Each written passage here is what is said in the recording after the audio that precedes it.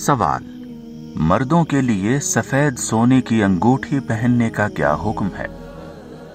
जवाब हज़रत आयतुल्लाह खामने।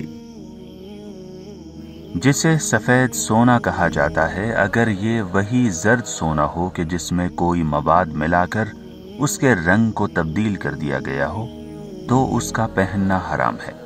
लेकिन अगर उसमें सोने की मकदार इतनी कम हो कि उर्फ़ में उसे सोना ना कहा जाए तो उसके पहनने में कोई इश्काल नहीं है और प्लेटिनम के इस्तेमाल में भी कोई हरज नहीं है।